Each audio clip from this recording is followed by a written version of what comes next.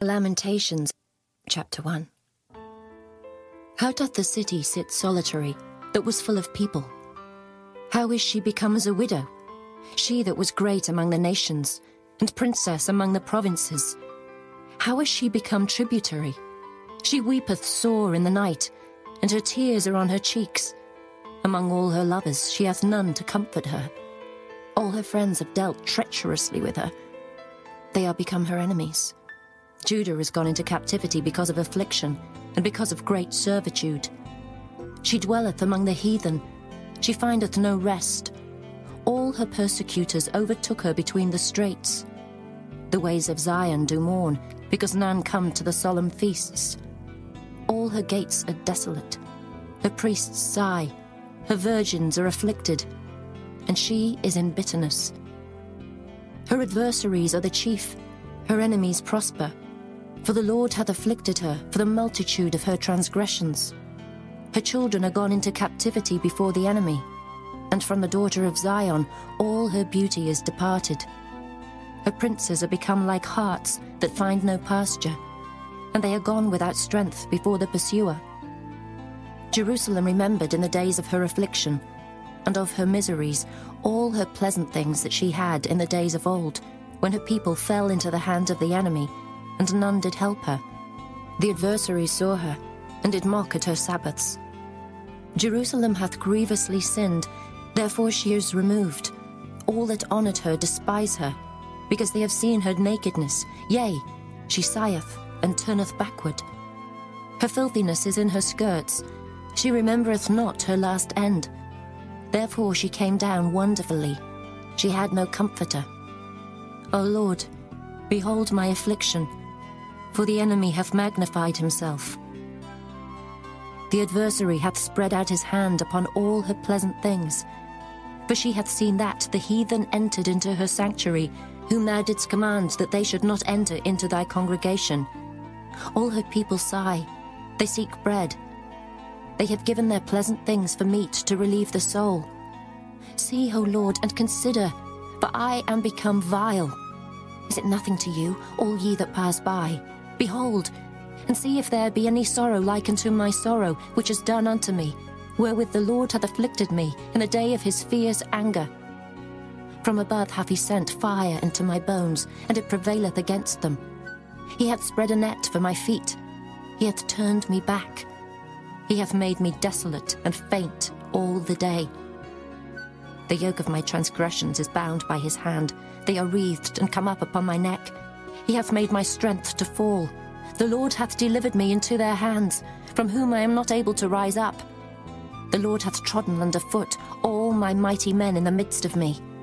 He hath called an assembly against me to crush my young men. The Lord hath trodden the virgin, the daughter of Judah, as in a winepress. For these things I weep. Mine eye, mine eye runneth down with water, because the comforter that should relieve my soul is far from me. My children are desolate, because the enemy prevailed. Zion spreadeth forth her hands, and there is none to comfort her. The Lord hath commanded, concerning Jacob, that his adversaries should be round about him. Jerusalem is as a menstruous woman among them.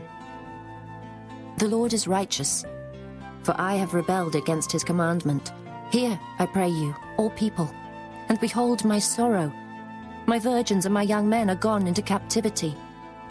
I called for my lovers, but they deceived me.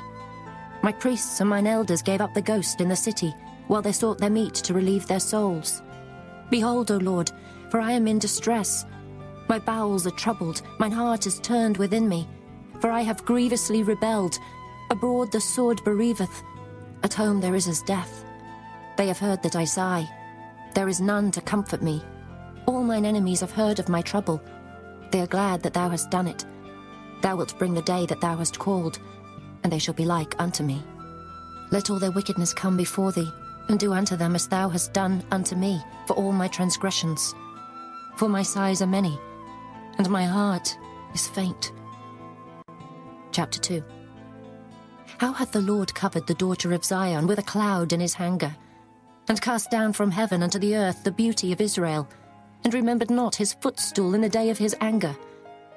The Lord hath swallowed up all the habitations of Jacob, and hath not pitied. He hath thrown down in his wrath the strongholds of the daughter of Judah. He hath brought them down to the ground. He hath polluted the kingdom and the princes thereof. He hath cut off in his fierce anger all the horn of Israel. He hath drawn back his right hand from before the enemy, and he burned against Jacob like a flaming fire which devoureth round about. He hath bent his bow like an enemy. He stood with his right hand as an adversary, and slew all that were pleasant to the eye in the tabernacle of the daughter of Zion. He poured out his fury like fire. The Lord was as an enemy. He hath swallowed up Israel. He hath swallowed up all her palaces. He hath destroyed his strongholds, and hath increased in the daughter of Judah mourning and lamentation. And he hath violently taken away his tabernacle, as if it were of a garden. He hath destroyed his places of the assembly. The Lord hath caused the solemn feasts and Sabbaths to be forgotten in Zion, and hath despised in the indignation of his anger the king and the priest. The Lord hath cast off his altar. He hath abhorred his sanctuary. He hath given up into the hand of the enemy the walls of her palaces. They have made a noise in the house of the Lord, as in the day of a solemn feast. The Lord hath purposed to destroy the wall of the daughter of Zion. He hath stretched out a line, he hath not withdrawn his hand from destroying. Therefore he made the rampart and the wall to lament. They languished together. Her gates are sunk into the ground. He hath destroyed and broken her bars. Her king and her princes are among the Gentiles. The law is no more. Her prophets also find no vision from the Lord. The elders of the daughter of Zion sit upon the ground and keep silence. They have cast up dust upon their heads. They have girded themselves with sackcloth. The virgins of Jerusalem hang down their heads to the ground. Mine eyes do fail with tears, my bowels are troubled, my liver is poured upon the earth, for the destruction of the daughter of my people, because the children and the sucklings swoon in the streets of the city. They say to their mothers, Where is corn and wine? When they swooned as the wounded in the streets of the city, when the soul was poured out into their mother's bosom. What thing shall I take to witness for thee? What thing shall I liken to thee, O daughter of Jerusalem? What shall I equal to thee, that I may comfort thee, O virgin daughter of Zion? For thy breach is great like the sea, who can heal thee? Thy prophets have seen vain and foolish things for thee, and they have not discovered thine iniquity to turn away thy captivity, but have seen for thee false burdens and causes of banishment.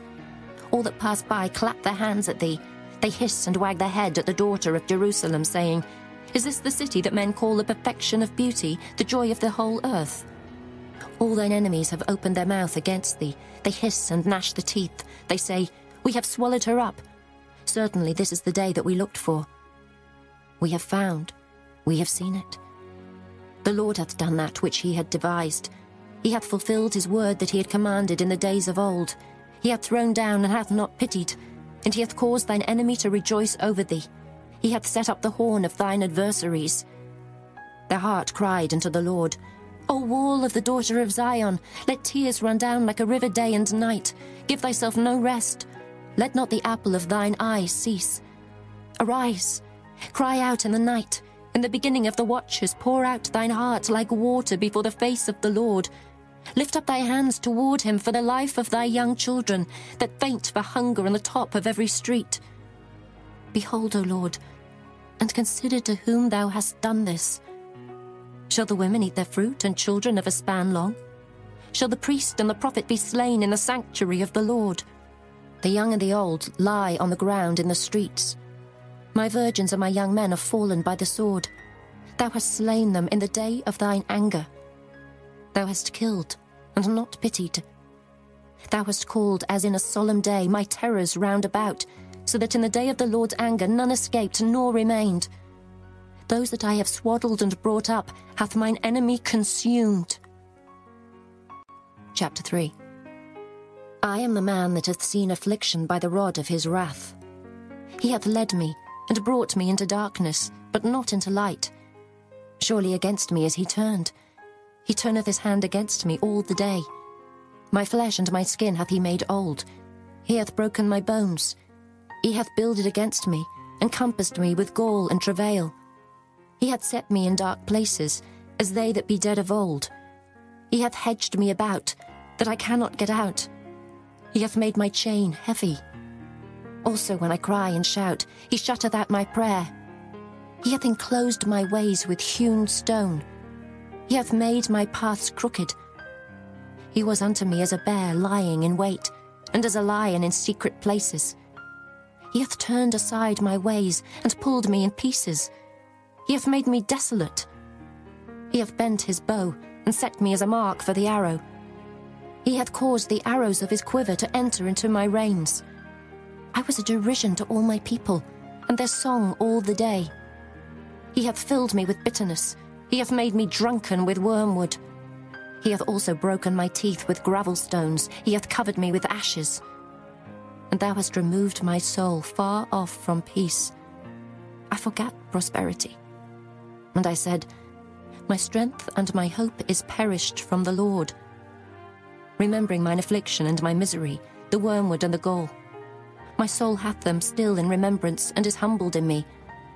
This I recall to my mind, therefore have I hope.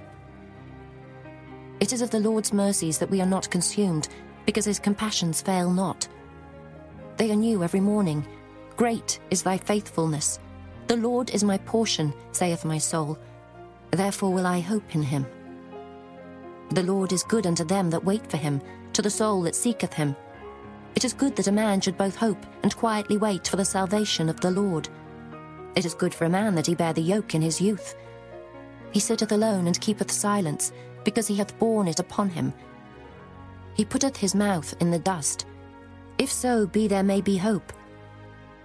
He giveth his cheek to him that smiteth him. He is filled full with reproach. For the Lord will not cast off forever.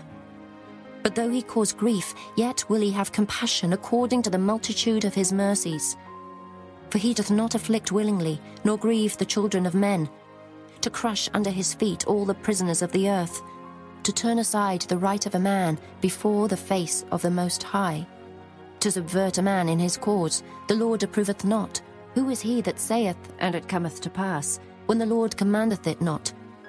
Out of the mouth of the Most High proceedeth not evil and good? Wherefore doth a living man complain, a man for the punishment of his sins? Let us search and try our ways, and turn again to the Lord.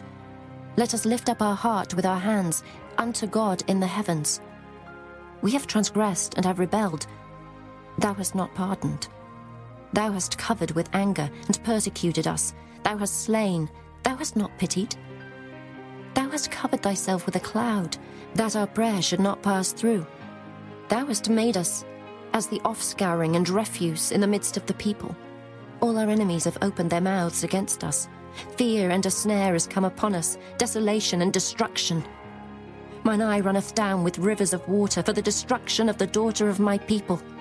Mine eye trickleth down and ceaseth not without any intermission, till the Lord look down and behold from heaven. Mine eye affecteth mine heart because of all the daughters of my city. Mine enemies chased me sore, like a bird without cause. They have cut off my life in the dungeon and cast a stone upon me. Waters flowed over mine head. Then I said, I am cut off. I called upon thy name, O Lord, out of the low dungeon. Thou hast heard my voice. Hide not thine ear at my breathing, at my cry. Thou drewest near in the day that I called upon thee. Thou saidst, Fear not. O Lord, thou hast pleaded the causes of my soul. Thou hast redeemed my life. O Lord, thou hast seen my wrong. Judge thou my cause. Thou hast seen all their vengeance and all their imaginations against me. Thou hast heard their reproach, O Lord, and all their imaginations against me. The lips of those that rose up against me, and their device against me all the day. Behold their sitting down and their rising up. I am their music. Render unto them a recompense, O Lord, according to the work of their hands. Give them sorrow of heart, thy curse unto them. Persecute and destroy them in anger from under the heavens of the Lord. Chapter 4 How is the gold become dim? How is the most fine gold changed? The stones of the sanctuary are poured out in the top of every street. The precious sons of Zion, comparable to fine gold, how are they esteemed as earthen pitchers? the work of the hands of the potter. Even the sea monsters draw out the breast, they give suck to the young ones. The daughter of my people is become cruel, like the ostriches in the wilderness. The tongue of the sucking child cleaveth to the roof of his mouth for thirst. The young children ask bread, and no man breaketh it unto them. They that did feed delicately are desolate in the streets. They that were brought up in scarlet embrace dunghills. For the punishment of the iniquity of the daughter of my people is greater than the punishment of the sin of Sodom. That was overthrown as in a moment, and no hands stayed on her. Her Nazarites were purer than snow. They were whiter than milk. They were more ruddy in body than rubies. Their polishing was of sapphire. Their visage is blacker than a coal. They are not known in the streets. The skin cleaveth to their bones. It is withered. It is become like a stick. They that be slain with the sword are better than they that be slain with hunger. For these pine away, stricken through for want of the fruits of the field. The hands of the pitiful women have sodden their own children. They were their meat in the destruction of the daughter of my people. The Lord hath accomplished his fury. He hath poured out his fierce anger, and hath kindled a fire in Zion, and it hath devoured the foundations thereof. The kings of the earth, and all the inhabitants of the world, would not have believed that the adversary and the enemy should have entered into the gates of Jerusalem. For the sins of her prophets, and the iniquities of her priests, that have shed the blood of the just in the midst of her, they have wandered as blind men in the streets. They have polluted themselves with blood, so that men could not touch their garments. They cried unto them, Depart ye, it is unclean. Depart, depart, touch not. When they fled away and wandered, they said among the heathen, They shall no more sojourn there. The anger of the Lord hath divided them. He will no more regard them. They respected not the persons of the priests. They favoured not the elders. As for us, our eyes as yet failed for our vain help. In our watching, we have watched for a nation that could not save us. They hunt our steps, though we cannot go in our streets.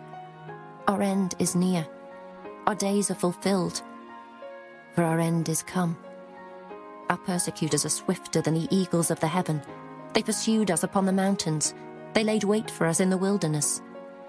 The breath of our nostrils, the anointed of the Lord, was taken in their pits, of whom we said, Under his shadow we shall live among the heathen. Rejoice and be glad, O daughter of Edom, that dwellest in the land of Uz. The cup also shall pass through unto thee. Thou shalt be drunken and shalt make thyself naked. The punishment of thine iniquity is accomplished, O daughter of Zion. He will no more carry thee away into captivity. He will visit thine iniquity, O daughter of Edom. He will discover thy sins. Chapter 5 Remember, O Lord, what has come upon us. Consider and behold our reproach. Our inheritance is turned to strangers, our houses to aliens. We are orphans and fatherless, our mothers are as widows. We have drunken our water for money, our wood is sold unto us. Our necks are under persecution, we labor and have no rest. We have given a hand to the Egyptians and to the Assyrians to be satisfied with bread. Our fathers have sinned and are not, and we have borne their iniquities. Servants have ruled over us. There is none that doth deliver us out of their hand. We got our bread with the peril of our lives because of the sword of the wilderness. Our skin was black like an oven because of the terrible famine. They ravished the women in Zion and the maids in the cities of Judah. Princes are hanged up by their hand. The faces of elders were not honored. They took the young men to grind, and the children fell under the wood. The elders have ceased from the gate, the young men from their music. The joy of our heart is ceased. Our dance is turned into mourning. The crown is fallen from our head. Woe unto us that we have sinned. For this our heart is faint. For these things our eyes are dim. Because of the mountain of Zion, which is desolate, the foxes walk upon it. Thou, O Lord, remainest forever, thy throne from generation to generation. Wherefore dost thou forget us forever, and forsake us so long time? Turn thou us unto thee, O Lord, and we shall be turned. Renew our days as of old. But thou hast utterly rejected us. Thou art very wroth against us.